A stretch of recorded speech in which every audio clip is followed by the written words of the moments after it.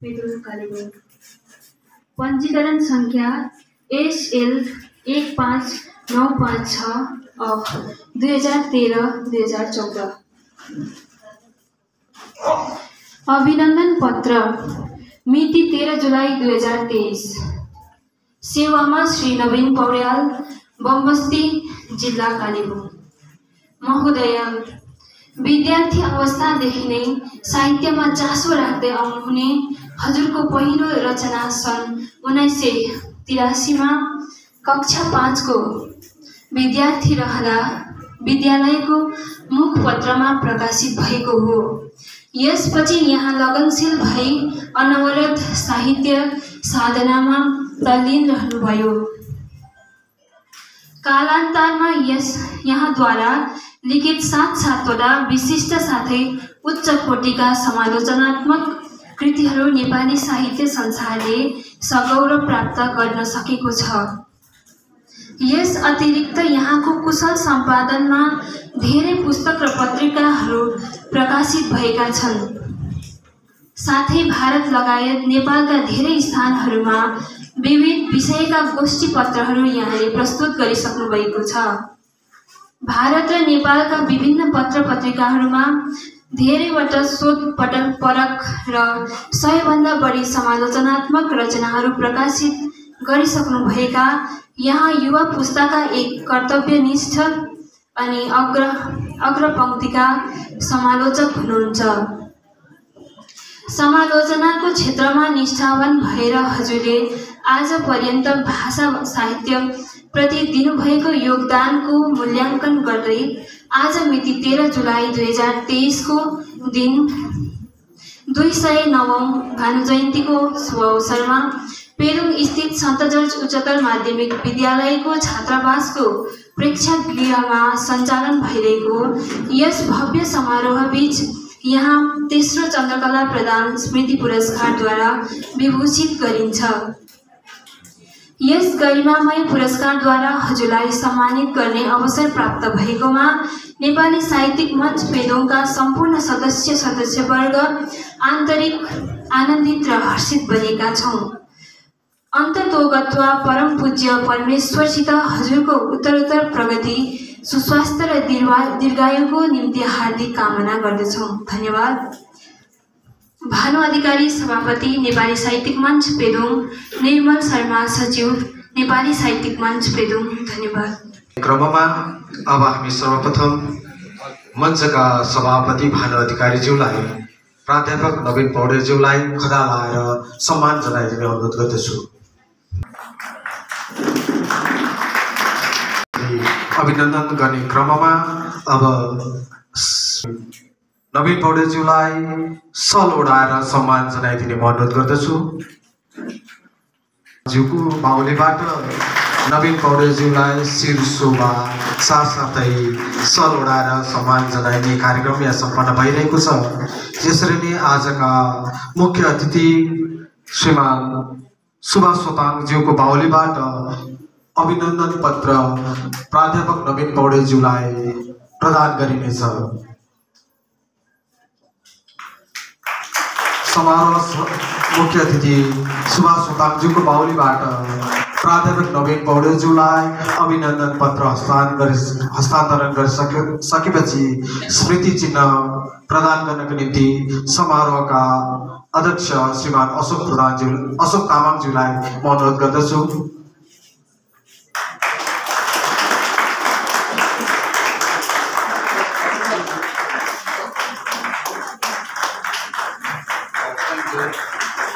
यो सँगसँगै पौडेलज्यूलाई प्रदान गरिदिने म अनुरोध गर्दछु। पनि आजका मुख्य अतिथिको बाहुलीबाट नवीन पौडेलज्यूलाई प्रदान गरिँदैछ। कार्यक्रममा ढिला नगरिकन म जो कोही पनि यहाँ उपस्थित अतिथिवर्गले प्राध्यापक नवीन पौडेलज्यूलाई माल्यार्पण गर्न चाहनुहुन्छ भने कृपया आएर माल्यार्पण गरिदिने अनुरोध गर्दै म कार्यक्रमलाई अघि बढाउनेछु र यदि कसैले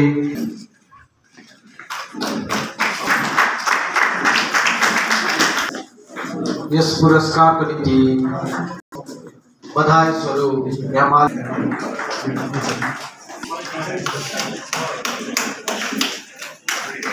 सहभागी मुख्य अतिथि समारोह सभापति लगायत अन्य अतिथिहरूलाई नवीन पौडेलज्यूलाई सम्पूर्ण नेपाली साहित्यिक मञ्चको तर्फबाट बधाई टक्राउँदै उहाँलाई मञ्चमा आएर आफ्नो सम्भाषण छोटकरीमा आफ्नो सम्भाषण राखिदिने अनुरोध गर्दछु।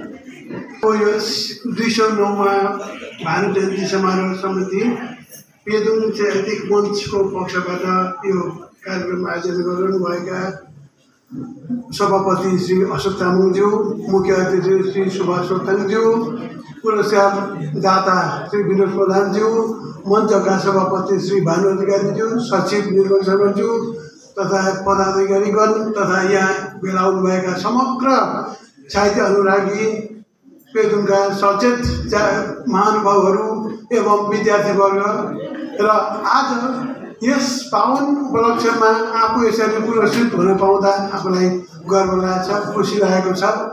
आज दुई सौ नौमा भानु जयन्ती हो र भानुभक्तको बारेमा यहाँहरू सबैले सुन्दै गरेर आउनुभएको हो र भानुभक्तको मूर्ति जुन चाहिँ ठाउँ ठाउँ ठाउँ ठाउँमा राखिएको छ त्यसको गणना गर्नुपर्ने स्थिति छ कहाँ कहाँ राखिएको छ र त्यो भानुभक्तका मूर्तिहरू चाहिँ हाम्रा अस्तित्वका मोहर छाप हुन्।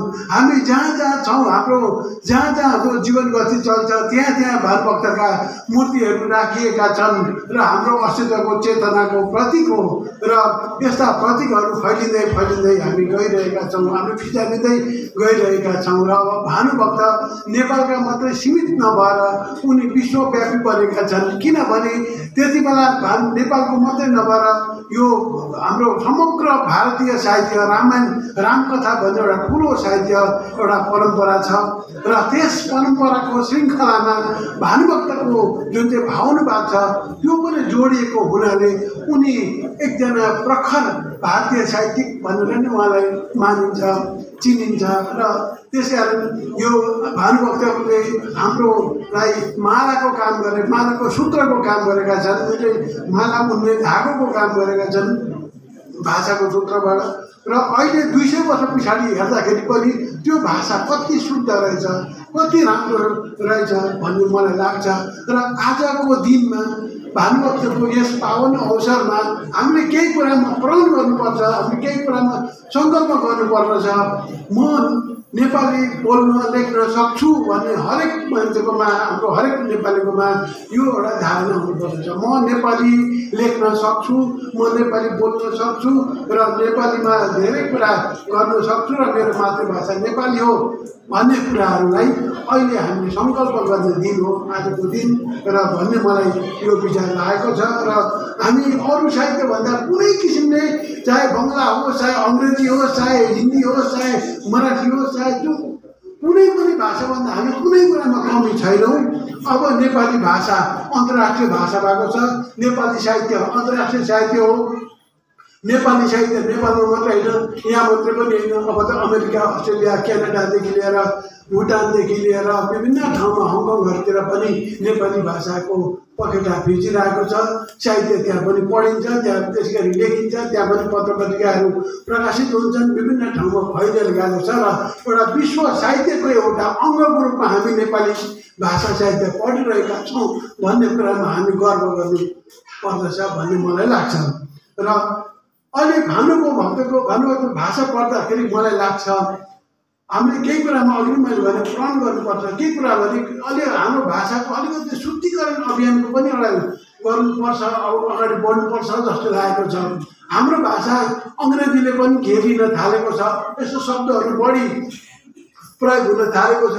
अङ्ग्रेजी मात्रै पनि होइन नेपालको नेपाली भाषा सुन्यो भने यति बेसी मात्रामा त्यो उर्दू अरबिक त्यो फारसी भाषाका शब्दहरू यति बढी मात्रामा प्रयोग हुन्छन्।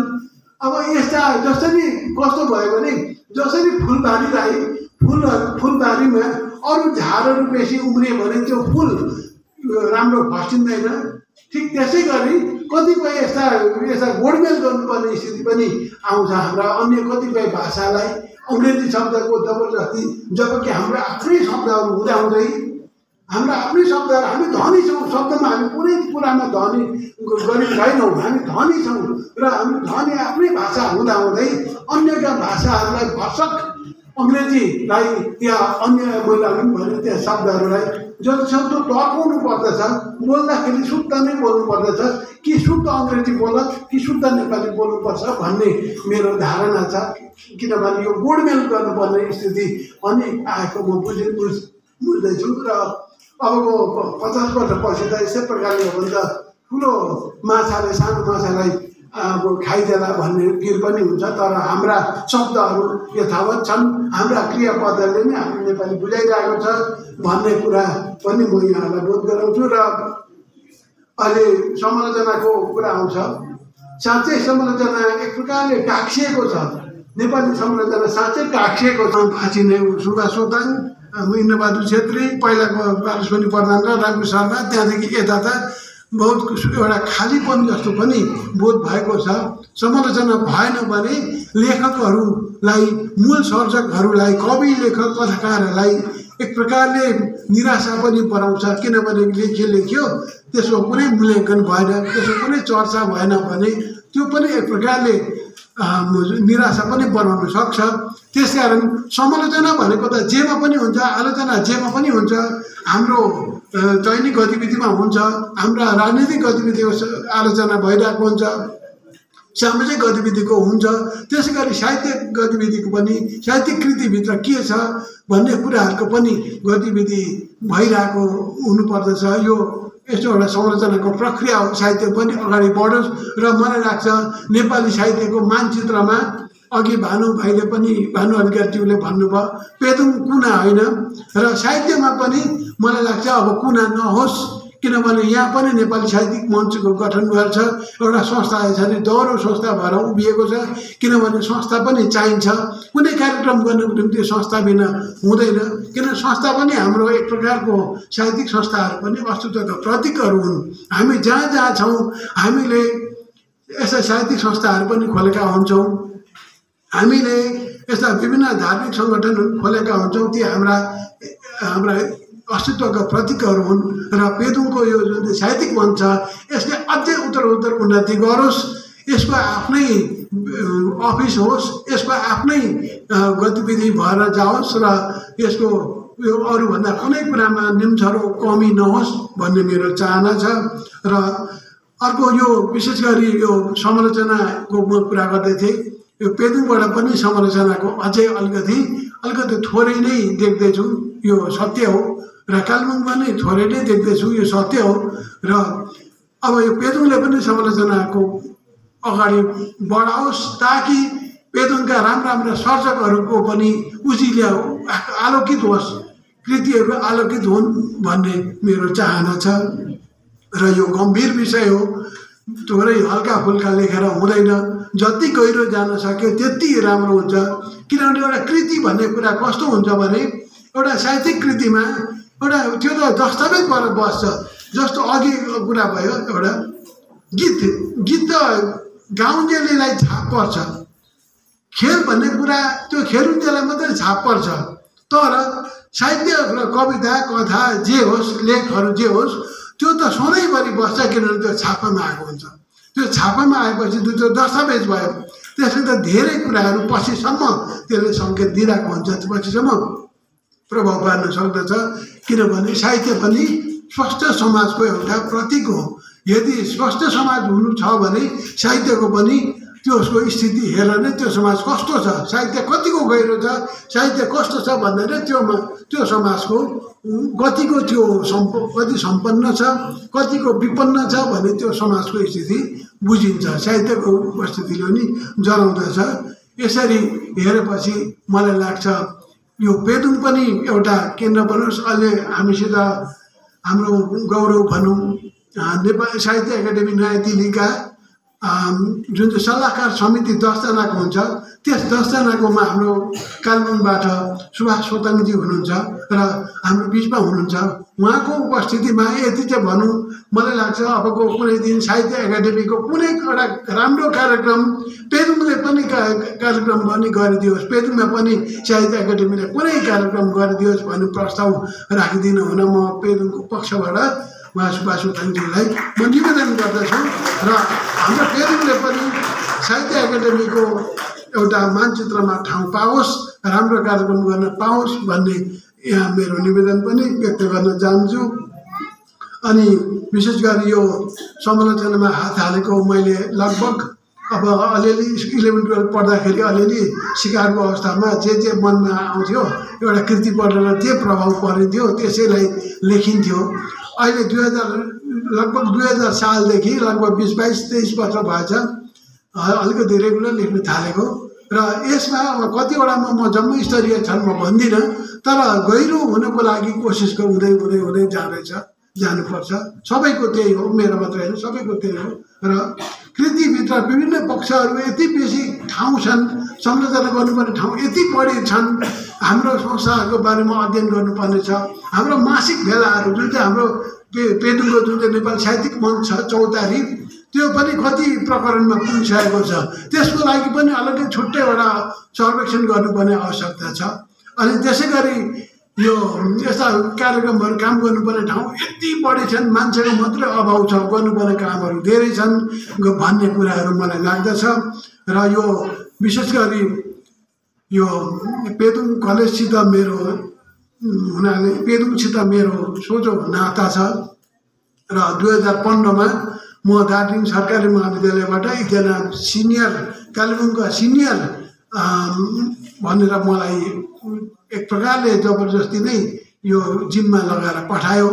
र मैले त्यो एउटा जुन चाहिँ स्थिति थियो कलेज थिएन अनि त्यति बेला दावा भाइहरू हुनुहुन्छ यो पेदुङ एजुकेसन सोसाइटी छ। पेदुङ एजुकेसन सोसाइटी दावा लेप्चा भाइ सरिता गुरुआमा उहाँहरूको छत्र छायामा भनौँ त्यति बेला छत्र छायामा मैले कलेज खोल्न सकेँ। बिस्तार बिस्तारै कलेजले कछुवा चालमा भए पनि खराएको चालमा म भन्दिनँ कछुवा चालमा अगाडि बढ्दैछ र यति यो स्थितिमा बिस्तारै बिस्तारै अब उन्नतिमा जाँदैछ। तर त्यो बिचमा अब यो नै न्यु एजुकेसन पोलिसी पनि यो दुई हजार यो बाइस तेइसदेखि सुरु हुँदैछ र त्यसको प्रभाव चाहिँ हाम्रोमा यो एडमिसन भइहालेको छ। र मलाई लाग्छ पेदुङले कलेज त पायो तर विद्यार्थी चाहिँ अझै साइन्समा आर्ट्समा त हारलिस हुन्छ साइन्समा चाहिँ हामीले विद्यार्थी राम्रोसित पाउन सकेका छैनौँ। यसको बारेमा अलिकति बाहिरबाट नि विद्यार्थीहरू त आउँदैछन्। हाम्रोमा जियोलोजी जस्तो सब्जेक्ट छ। अनि विशेष गरी जियोलोजीकोमा म दावा भएर भन्छु त्यो त्यति बेला जति जोइन डिपिआईहरूको भ्रमण आएको थियो त्यति बेला दावा भाइले नै हाम्रोमा जियोलोजी पनि आयो हुन्थ्यो भनेर मुखबाट पक्क बोल्नु भएको थियो त्यो नै लागु भएको छ। जियोलोजी हाम्रोमा अहिलेसम्म पनि हाम्रोमा मात्रै छ कुनै कलेजमा छैन। र त्यो जियोलोजी जस्तो सब्जेक्ट जसले चाहिँ जो जो विद्यार्थीहरूले सबैले काम पाइसके बिएससी एमएससी जियोलोजीमा गरेर सबैले काम पाएर गइसकेका छन् सबैजना नियुक्ति पाइसकेको यस्तै स्थिति छ। र पनि हाम्रोमा अझै पनि दुईजना चारजना एकचोटि सबभन्दा बढी बाह्रजना भएका थिए।